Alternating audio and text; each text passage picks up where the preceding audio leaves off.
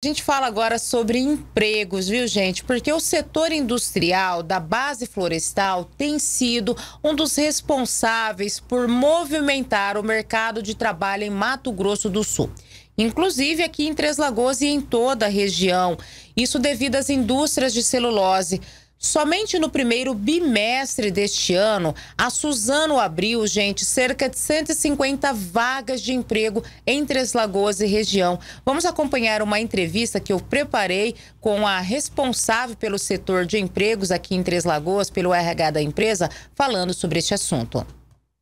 Bom, e hoje chegou o momento da gente falar um pouquinho sobre a questão da empregabilidade, geração de empregos na Suzano, fábrica de celulose com duas unidades em Três Lagoas e que em breve vai instalar, vai entrar em operação uma nova fábrica. Mas hoje, especificamente, nós vamos falar sobre a questão de empregos aqui em Três Lagoas.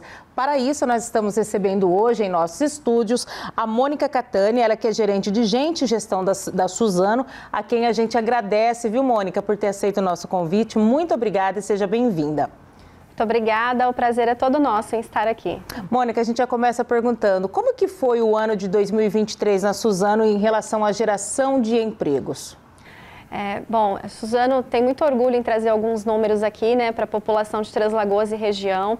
No ano de 2023, nós geramos mais de 800 oportunidades, somadas todas as regiões onde a Suzano atua. E aí estou falando de Três Lagoas, Brasilândia, Água Clara, Inocência, operações em Bataguaçu.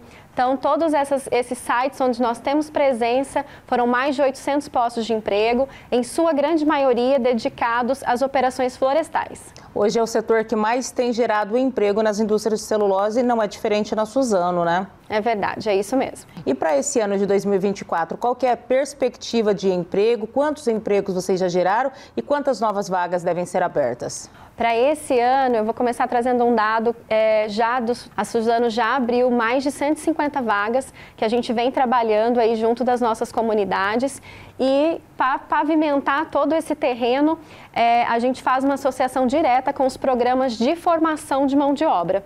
E aí eu estou falando aqui desde as oportunidades de estágio, aprendizagem, até os programas que formam mão de obra específico para o setor florestal e industrial.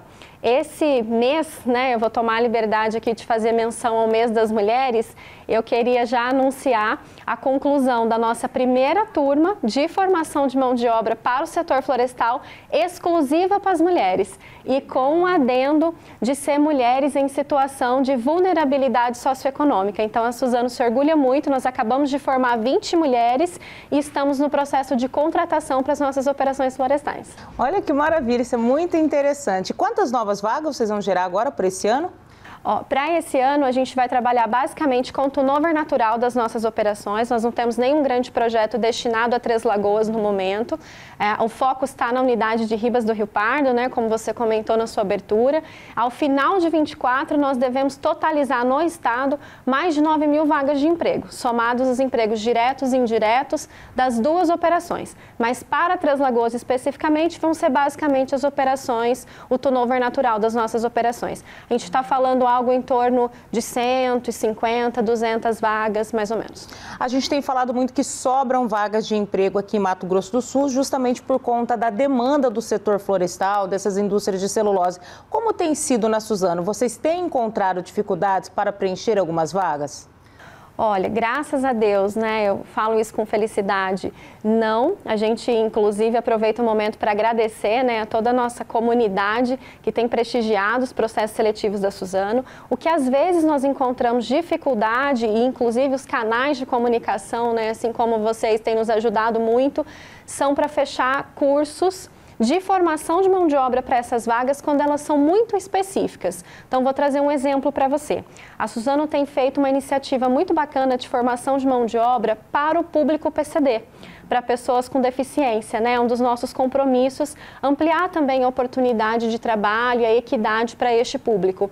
E aí, por vezes, a gente abre turmas com o nosso grande parceiro, que é o Senai, isso já aconteceu duas vezes no ano de 23, por exemplo, e a gente tem que prorrogar por diversos momentos o período de inscrição. Nós já chegamos a ficar com uma inscrição que deveria durar 20 dias, 90 dias em aberto, porque a gente não tem essa procura Né? Então, para esse tipo de público, por exemplo, é um público que a gente tem tido um pouco mais de dificuldade para acessar. E qual é a área que vocês encontram mais dificuldade para encontrar alguma mão de obra especializada? Tem alguma específica? Hoje, basicamente, na Suzano, não. Os programas de formação de mão de obra nos atendem muito bem com o prestígio da comunidade, alimentando as nossas bases operacionais e alguma outra posição mais específica, a gente, como empresa, consegue trabalhar isso a nível Brasil né, e fazer a composição do quadro. E para o setor florestal? Porque a demanda é muito grande né, para a área florestal. Não falta mão de obra hoje para vocês no setor florestal? Vocês têm conseguido essas vagas também para a área rural? A gente tem sim. E aí eu quero mais uma vez reforçar essa iniciativa quanto que os programas de formação de mão de obra nos suportam nesse sentido, né? Se eu for trazer aqui o contexto histórico do nosso programa Cultivar, que nos auxilia nesse sentido, formando mão de obras para viveiro, civicultura, própria operação de colheita, manutenção, por exemplo, nós já capacitamos mais de mil pessoas. Eu acho que esse é um grande, um grande destaque da Suzano. Assim, se eu fosse depender única e exclusivamente de encontrar profissionais preparados no mercado, talvez eu sentisse mais essa dificuldade. Como a Suzano tem na veia, né, no seu DNA, é, esse movimento de formação de mão de obra, de prestigiar a comunidade, e a gente consegue fazer isso através dos nossos parceiros, isso facilita bastante para a gente a composição do quadro com uma mão de obra qualificada. E esses programas hoje têm vagas abertas para qualificação ou não? Neste momento não, mas nós temos previsão de turma ao longo do ano. O Cultivar, por exemplo, essa turma que eu acabei de dar o exemplo de mulheres, ela acabou de formar, é uma turma fresquinha de fevereiro, e no segundo semestre nós devemos lançar mais uma turma aberta para a comunidade de Três Lagoas e região. Vocês têm utilizado a tecnologia, a questão da mecanização também para substituir algumas vagas ou não? Não, nesse momento não. A Suzano tem estudos muito com o objetivo de melhorar cada vez mais o nosso ambiente de trabalho, as condições de trabalho né, também para as nossas pessoas, mas falar de substituição, redução de quadro por conta disso ainda não é uma, não é uma verdade. Quantos funcionários, quantos colaboradores tem a Suzano hoje? Hoje, em Três Lagoas, as nossas operações no entorno geram cerca de 6 mil postos de trabalho, diretos e indiretos. E se a gente for destacar a mão de obra própria, ela é mais do que 50% desse número. São mais de 3 mil colaboradores diretos, Suzano. Quantas mulheres? Hoje nós temos mais de são 645, se não me falha a memória, representando aí 20% do nosso quadro. E um outro dado, aproveitando tua deixa, só em 2023, nós contratamos mais de 260 mulheres no quadro da Suzano para compor esse número né, de mais de 600 que temos hoje. E algo que muito nos orgulha é ver essas mulheres ocupando todos os espaços. Então, hoje na Suzano, nós temos mulheres desde as das oportunidades operacionais até o nível executivo, todas as posições de liderança. Então, isso nos orgulha bastante. Bom, muito tem se falado, muitas pessoas falam assim: ah, mas eu faço a inscrição no site, às vezes eu não consigo. Como as pessoas conseguem entrar na Suzano? É, qual é a dica que você dá para quem sonha, para quem pretende conseguir uma vaga de empresa em uma das unidades da Suzano? Olha, eu acho que parte dela já está contemplada na sua fala, né? O canal oficial, onde a gente pode acompanhar todas as vagas da Suzano, é de fato nosso site. Então, se as pessoas acessarem lá o www.suzano.com.br, vai ter uma guiazinha chamada Trabalhe Conosco e a hora que ela clica ali, ela consegue conhecer todas as oportunidades, inclusive não só de Três Lagoas, mas a nível Brasil. Porque a gente sabe que tem profissionais também que têm mobilidade, tem família em outras localidades, né? Isso pode propiciar um movimento aí até de de proximidade com as suas famílias. Então, essa é a fonte oficial. É, eu recomendo sempre que as pessoas acompanhem todas as oportunidades, continuem se cadastrando. Um ponto que é super importante, dar esse acesso e essa visibilidade para o candidato. Nosso primeiro filtro é sempre o currículo das pessoas. E aí, muitas vezes, nós do lado de cá, temos uma dificuldade de fazer a leitura de quais competências aquela pessoa tem, porque o currículo está esvaziado né, a gente às vezes precisa de um pouquinho mais de cuidado na hora de alimentar esse currículo. Quanto mais a gente rechear ele de informações, mais a gente facilita do lado das empresas, do lado do recrutador, para interpretar aquela informação, interpretar quais competências tem e convidar essas pessoas para o processo seletivo. Então, acho que essa é uma dica de ouro assim que eu posso dar para as pessoas, porque no dia a dia a gente sente muita falta disso, de informação para a gente poder trazer esses candidatos. E aí pode ser que seja nisso, né, nesse momento em que está ficando uma ou outra pessoa de fora e do lado de cá a gente também não está conseguindo fazer essa leitura. Então, eu acho que a gente fala que o currículo é o cartão de visita, né? Ele abre a porta de entrada. Então, meu pedido aqui, minha dica seria essa. E muitos colaboradores que entraram exercendo uma função hoje acabam exercendo outra. Vocês também têm um programa de carreiras dentro da empresa? Sim, nós temos sim.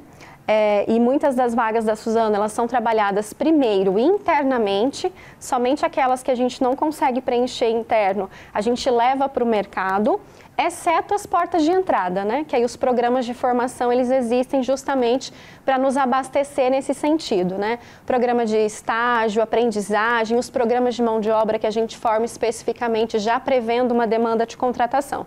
Mas então a Suzano, assim, em política interna, ela prestigia seus talentos internos e hoje a gente tem um número bastante representativo. Se eu for trazer para você uma referência fresca que está na minha cabeça aqui do número da industrial, por exemplo, essa taxa ela circula entre 80 a 85%, o que chega a ser um benchmark para aproveitamento interno.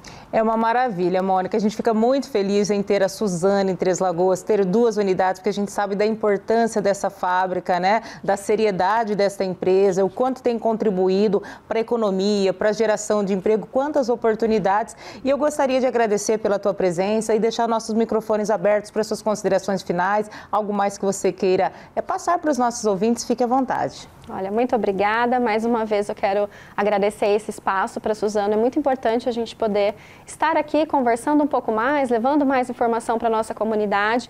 Quero reforçar que todas as pessoas que têm interesse em fazer parte do nosso time, acessem a nossa plataforma, busquem informação pelo nosso site.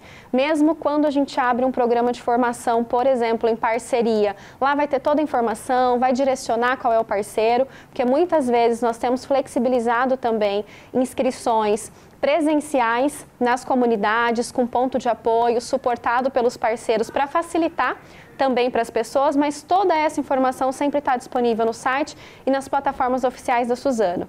E não podia deixar de encerrar minha fala agradecendo a todo mundo que tem sempre nos prestigiado, a nossa empresa. A gente se sente muito feliz com o relacionamento que a gente vem nutrindo com a comunidade. Parabenizar todas as mulheres, né? Eu sei que o marco oficial já se passou no dia 8, mas nós estamos no mês das mulheres. Então, quero parabenizar a todas, desejar a todas que tenham aí sempre uma linda jornada, que se orgulhem muito das suas histórias e que Deus continue aí nos dando sabedoria enquanto mulher nos diversos papéis que a gente exerce no dia a dia. Com certeza. Muito obrigada, viu, Mônica? Nós vamos ao intervalinho e na sequência a gente já volta com mais informações.